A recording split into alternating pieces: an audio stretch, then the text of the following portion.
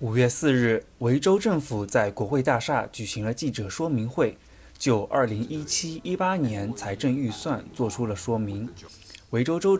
长 Andrews 和维州多元文化部部长 Robin Scott 出席了这次说明会，解答说明关于维州财政预算一系列问题。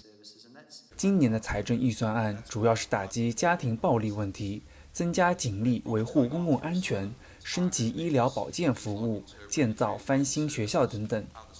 在多元文化社区方面，政府将在翻译服务投入重大预算资金，改善维州的多语言服务，满足多元文化社区的需求。另外，拨款建造社区会堂、中心和文化地带，让社区的人有更多机会聚首一堂，让每个维多利人拥有归属感。